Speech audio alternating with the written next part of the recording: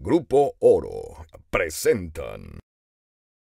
Y esta mañana el dirigente estatal del PRI, Juan Carlos Lastiri, nos acompañó aquí en el estudio de Oro Noticias. Dio a conocer la reunión que sostendrán diputados, alcaldes y líderes de su partido con el gobernador Rafael Moreno Valle Rosas para establecer la forma en la cual estarán trabajando durante su gobierno.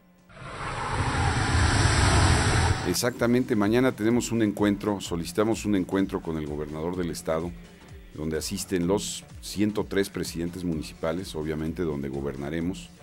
Asisten diputados locales, diputados federales, el senador de la República, Melquiades Morales Flores. Eh, ¿Cuál es el objetivo? Es eh, pedir un trato equitativo, justo, apegado a derecho a nuestras autoridades municipales y obviamente a las autoridades eh, emanadas del partido. Esta es una reunión que estará presidida por, la, por Beatriz Paredes, dirigente nacional del partido. Irá la dirigencia del Estado, la dirigencia municipal también de Puebla. Y bueno, de lo que se trata es de mantener una relación institucional clara, transparente y solicitar, como te decía, trato digno, apegado a derecho. Sí. Queremos que todos los ayuntamientos tengan acceso a todos los programas, porque el PRI contribuyó a través de los diputados federales a tener un presupuesto muy bueno para Puebla y ahora es importante que ese presupuesto en la misma tónica se pueda distribuir no eh, con tintes partidistas, sino a la ciudadanía en general. ¿Temes ello? Eh, bueno, tenemos confianza que no sea así, pero puede haber mandos medios o mandos menores que puedan ir partidizando las cosas.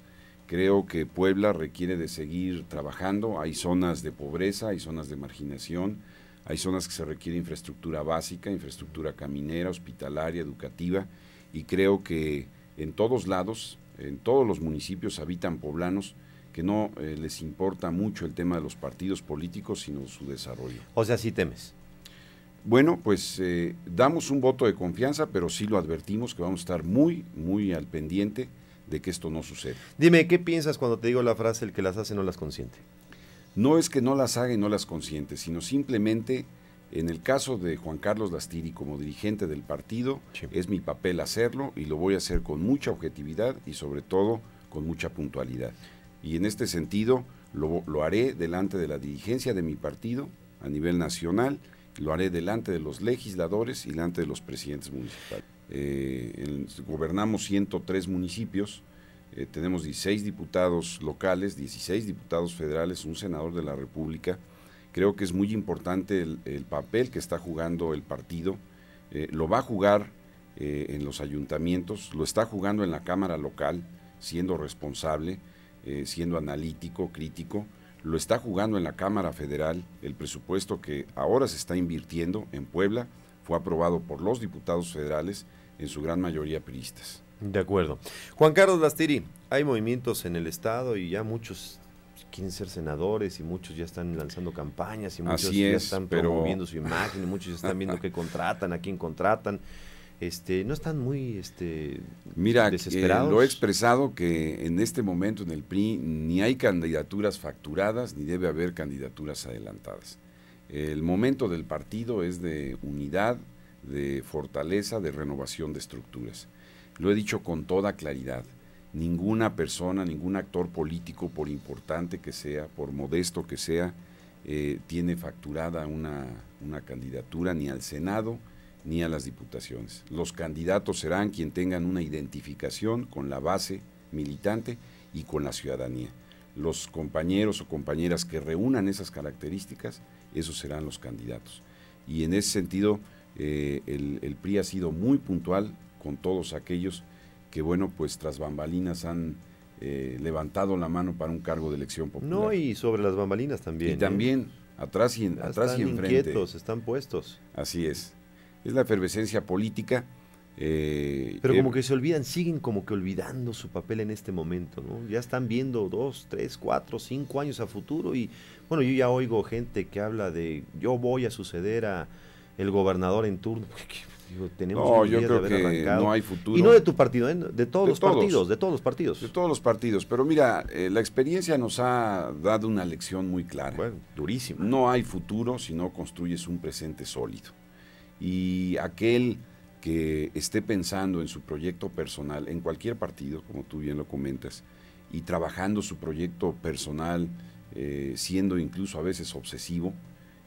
Bueno, desafortunadamente la historia nos ha puesto con mucha claridad que ser obsesivo en estos casos pues no se lleva bien con la voluntad ciudadana en las urnas. Entonces yo creo que debemos de aprender de, de estas experiencias que nos ha dejado en todos los procesos. Ha habido eventos, y tú lo sabes muy bien, nos hemos saludado en algunos de ellos, el informe de Blanca Alcalá y otros más, Así es. donde se ha encontrado pues, un número importante de periodistas destacados por su trayectoria, por su trabajo. Yo he escuchado en esos eventos frases como esta.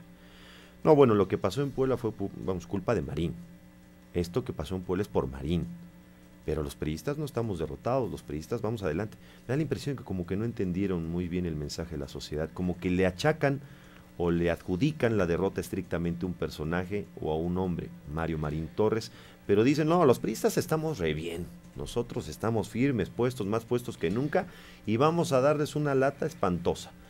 ¿Sientes tú que hay soberbia, que no han entendido la lección del todo? No, yo creo que hay, hay una clara objetividad de la realidad que vive el partido y sin mayor debate y sin mayor profundidad debemos de entender, me refiero a no debatirlo en este momento, lo hemos hecho al interior del partido, yo lo estoy provocando en todas las regiones a través de foros, de mesas de trabajo, mesas de reflexión, donde los militantes los estamos escuchando, qué está pasando en el partido. Y no, no piensa eso la militancia. La militancia tiene muy claro eh, que el por qué perdimos, la militancia tiene muy claro muchas cosas. Entonces no tenemos que, taparnos los oídos eh, en este sentido. Tenemos que ser muy maduros y fríamente eh, ser claros en que el haber perdido fue un mensaje de la sociedad. Eso debemos de entenderlo. Ahora, tenemos que ir corrigiendo hacia adelante porque en 508 días aproximadamente tenemos la elección federal y el PRI debe demostrarse como una opción para corregir lo que está pasando en este país. De tal suerte entonces que eh, la culpabilidad no es de una persona. Eh, yo creo que todos los que militamos al interior del partido debemos de asumir nuestra culpabilidad cuando se, cuando se pierde. Y, bueno, aquí lo importante es de que todos los militantes eh, del partido entonces abonemos a la reconstrucción. ¿Y cómo vamos a abonar a la reconstrucción? No pensando en, primero en proyectos personales. Primero está el partido. ¿Cómo vamos a contribuir abriendo el partido a todas las expresiones al interior? Eh, ¿Cómo vamos a contribuir? Bueno, generando una participación más activa de la sociedad. Eh, la sociedad está ávida en este momento de tener una opción que gobierne con responsabilidad este país. Y ahí tenemos que situarnos nosotros. De lo contrario, pues estaremos a la deriva. Tenemos una gran oportunidad para el 2012 y creo que el PRI tiene que aprovecharla. Y en el caso de Puebla, somos un partido vigente, vigoroso, somos un partido que obtuvo casi 900 mil votos y que el reto en este momento es consolidar la estructura, abrirla a todas las expresiones para que todos los grupos eh, al interior del PRI ingresen a hacer política y tengan un espacio. Y luego el, el compromiso de la dirigencia es postular candidatos con esas dos cualidades, vinculación con la ciudadanía y una identificación con la militancia. Esto fue una producción de Grupo Oro